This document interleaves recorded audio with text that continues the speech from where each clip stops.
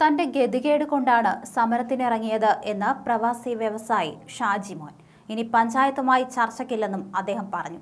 ഇരുപത്തഞ്ച് കോടി മുടക്കിയിട്ടും ഒന്നും ശരിയാകാത്ത അവസ്ഥ വന്നതോടെയാണ് പഞ്ചായത്തിന് മുന്നിൽ ഷാജിമോൻ ഇന്ന് സത്യാഗ്രഹം ആരംഭിച്ചത്. ഷാജിമോനെ ഇപ്പോൾ പോലീസ് ബലമായി കട്ടിലോടുകൂടി പുറത്തേക്ക് ഇറക്കുന്ന ദൃശ്യങ്ങളാണ് കാണുന്നത്. മാഞ്ഞൂർ പഞ്ചായത്ത് ഓഫീസിന് അകത്ത് നിന്ന് പ്രതിഷേധം നടത്താൻ സാധിക്കില്ല എന്ന് പറഞ്ഞുകൊണ്ടാണ് ഇത്തരത്തിലൊരു നടപടി പോലീസ് സ്വീകരിച്ചത്. ഇപ്പോൾ റോഡിലേക്ക് എടുത്ത് മാറ്റിയിരിക്കുകയാണ്. പോലീസ് പോലീസ്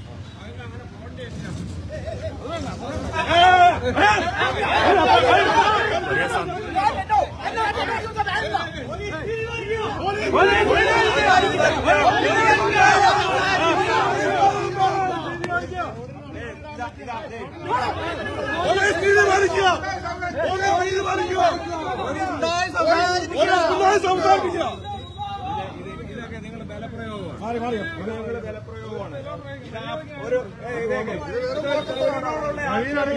അദ്ദേഹത്തിന്റെ അവകാശമാണ് അദ്ദേഹത്തിന് എടാടാടാ. മാനൂർ പഞ്ചായത്ത് വേറും കുറവിലാണ് കാണിക്കുന്നത് ഞങ്ങളെ പോലുള്ള ചെറുപ്പക്കാർ പറയാം അവകാശമുണ്ട്. പ്രതിഷേധിക്കാൻ അവകാശമുണ്ട് സാറേ ഈ നാട്ടിൽ.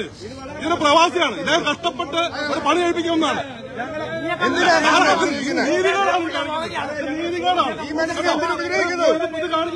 നിങ്ങളെ നീതിക്കൊപ്പം നിൽക്കുന്ന ആൾക്കാരാണ്. കേട്ടോ ആ നിങ്ങൾ നീതിക്കൊപ്പം നിൽക്കേണ്ട ആൾക്കാരാണ്.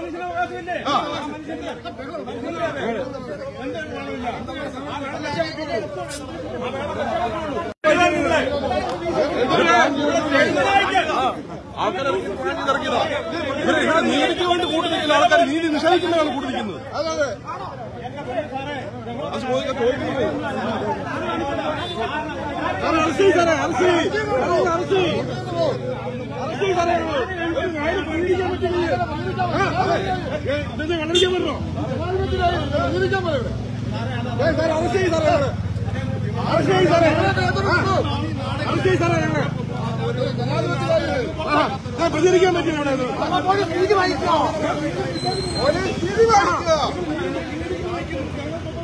വളരെ മോശമാണ്. പോലീസിന്റെ ഗുണ്ടാഴ്ച അവസാനിപ്പിക്കുക.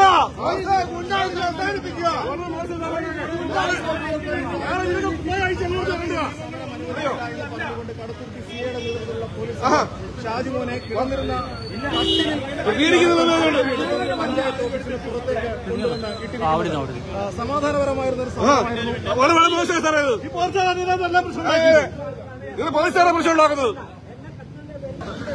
അതെ ആൾ ഉപദ്രവിക്കും. ഉപദ്രവിക്കും സാറേ സാറേ അറസ്റ്റ് ചെയ്യ് സാറേ. നിങ്ങൾ എന്താ ഉപദ്രവിക്കുന്നത്?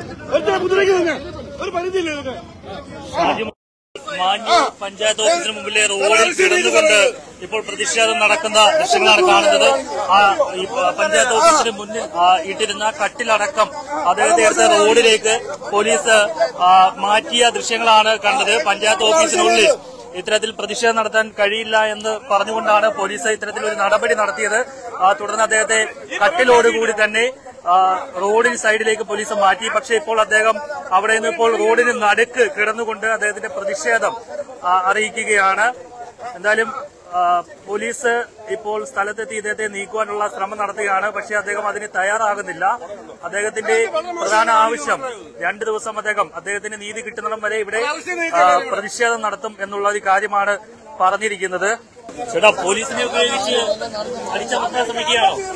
ഞാൻ അവിടെ മരയിൽ കിടക്കുകയായിരുന്നു എന്നെ അവരാണ് ചുമന്നുകൊണ്ട് എന്റെ നടുവ് പോയി. ആ നടുവ് ആ കട്ടിലിന്റെ അടുത്ത് പോയി എന്റെ എന്റെ കൈ കീറി. അതെ. അവർ പഞ്ചായത്തുകാരെ തവിട്ടി പുറത്താക്കുന്നു പറഞ്ഞു പോലീസുകാരൻ ചവിട്ടി പുറത്താക്കി അത്രേ ഉള്ളൂ. ഒരു കുട തരോ ഒരു കുട കുട കുട. ഒരു കുട തരാം കണ്ടിട്ട് ഓടിക്കിടക്കേണ്ട അവസ്ഥയിലേക്ക് എത്തിയിരിക്കുകയാണ്. എന്നെ എടുത്തിടുക ചെയ്തത് പോലീസെല്ലാം കൂടി. അതെ. അവസാനിപ്പിക്കുന്നില്ല ഇല്ല.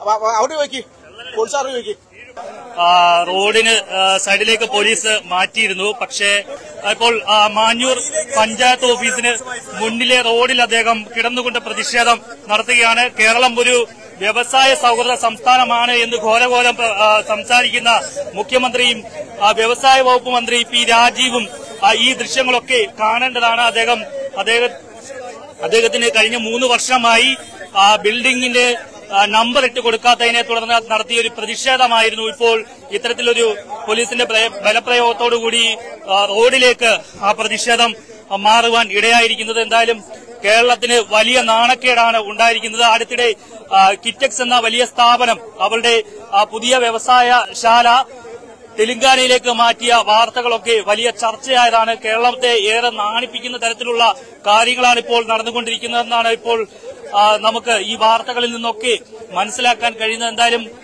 ഷാജിമോൻ ജോർജ് ഇപ്പോൾ റോഡിന് നടുവിൽ കിടന്നുകൊണ്ട് പ്രതിഷേധം നടത്തുകയാണ്. സമാധാനപൂർവമായി നടത്തിയ ഈ ഒരു പ്രതിഷേധ സമരം ഇപ്പോൾ പോലീസിന്റെ ഇടപെടലോ ഇടപെടലോടുകൂടി ഇപ്പോൾ നടു റോഡിലേക്ക് മാറേണ്ട ഒരു അവസ്ഥയിലേക്ക് എത്തിയിരിക്കുകയാണ്. എന്താണ് ചേട്ടാ ഈ കാണുന്നത് ഇവിടെയൊക്കെ ഈ കാണുന്നത് വെറും വളരെ നീലമായ ഒരു സംഭവമാണ് ഈ നടന്നുകൊണ്ടിരിക്കുന്നത്. ഈ പഞ്ചായത്ത് എന്ന് പറഞ്ഞാൽ ഇത്ര ദുഷിച്ച പറഞ്ഞ് നടന്ന പഞ്ചായത്ത്.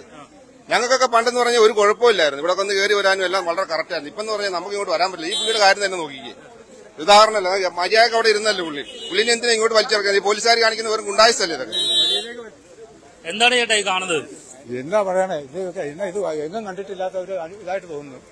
ഇതൊക്കെ ഇതിപ്പോ ഒരു സാമാന്യ മര്യാദയ്ക്ക് പുള്ളിനെ അങ്ങോട്ട് മാറ്റി ഇരുത്തു എന്തെങ്കിലും ചെയ്യാതെ ചുമ്മാ വഴിയിലൊക്കെ വലിച്ചിടാനുള്ള സൗകര്യം അവിടെ വെറുതെ ഇരുന്ന ആൾ വഴിയിലൊക്കെ വലിച്ചിടുക എന്നൊക്കെ പറഞ്ഞു കഴിഞ്ഞാൽ അത് എന്നാ എന്റെയൊക്കെ ഒന്നും ഞങ്ങൾക്കൊന്നും ഒന്നും മനസ്സിലാകാത്ത ഒരു കാര്യം സമാധാനപൂർവമായിട്ട് അദ്ദേഹം അവിടെ സമരം നടത്തുകയായിരുന്നു. തീർച്ചയായിട്ടും തീർച്ചയായിട്ടും സാറേ. അതൊക്കെ വളരെ മോശമാണ്. ഇതാണ് സാധാരണ ജനങ്ങൾ അനുഭവിക്കുന്ന ദുരിതമാണ്. അദ്ദേഹത്തിന് പ്രതിഷേധിക്കാൻ അവകാശമില്ലെങ്കിൽ പിന്നെ എന്താണ് നമ്മുടെ ഭരണഘടന പറയുന്നത്? നമ്മുടെ ഭരണഘടനയിൽ സമാധാനപൂർണമായി പ്രതിഷേധിക്കുന്നതിനുള്ള അവകാശം എല്ലാവർക്കും ഉണ്ട് ഞങ്ങളെയൊക്കെ മാറ്റി പുറത്തോട്ട് ഇറക്കി നിർത്തി ഇവിടെ വഴി ബ്ലോക്കാക്കി ഞങ്ങൾ ആരും വഴി ബ്ലോക്ക് ചെയ്തിട്ടില്ല. പഞ്ചായത്തിന്റെ വണ്ടിയാണ് വഴി ബ്ലോക്ക് ചെയ്തിട്ടുള്ളത് അതിനുശേഷം പോലീസിനെ ഉപയോഗിച്ചുകൊണ്ട് ഉത്തരവ് കൊടുത്തതാണ് അവർക്ക്. അവർ കുപ്പായ വിട്ടിരിക്കുന്നു അവർ ശമ്പളം മേടിക്കുന്നു അവർക്ക് ട്രാൻസ്ഫർ ഉണ്ടാവും. അങ്ങനെയുള്ള പേടിയിൽ അവർക്ക് ഒരു ഉത്തരവ് കൊടുത്തു. ബലമായിട്ട് എടുത്ത് കട്ടിൽ സഹിതം എടുത്ത് പുറത്തെടുത്തിട്ടിരിക്കുന്ന വഴി ബ്ലോക്ക് ചെയ്തിരിക്കുന്നു. ഇതിന്റെ ഇതിന്റെ കേസ് ആരെടുക്കും? ഇതിന് ഉത്തരവാദി ആരാണ്? ഇതിന് ഉത്തരവാദി ഈ- ഈ ഉത്തരവ് കൊടുത്ത ആൾ തന്നെയല്ലേ? ഈ റോഡ് ബ്ലോക്ക് ചെയ്തതിന് ഉത്തരവാദി ആരാണ്? ഈ വഴിയിലോട്ട് കട്ടിൽ സഹിതം ആ മനുഷ്യനെ പാവപ്പെട്ട മനുഷ്യനെ വഴിയിലോട്ട് ഇറക്കി കിടത്തിയത് കൊണ്ടല്ലേ? ആ മനുഷ്യൻ ഈ ദുരിതത്തിലേക്ക് തള്ളിയിടുന്നത് നമ്മുടെ സ്ഥാപനങ്ങളാണ് ഭരണ സംവിധാനങ്ങളാണ് അത് തെറ്റാണ് അത് തിരുത്തണം. എത്രയും വേഗം തിരുത്തണം.